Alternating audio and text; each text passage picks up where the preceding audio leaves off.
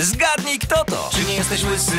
Rude włosy masz? A może wąsy? Czy brązowe oczy? Zgadnij kto to gra, niech zabawa trwa. Czy masz siwe włosy? Nie. Im więcej zadajesz pytań, tym bliżej jesteś wygranej. Czy to Julek? O! Tak. Teraz aż dwa arkusze, nowe zwierzątka i postacie. Zgadnij kto to,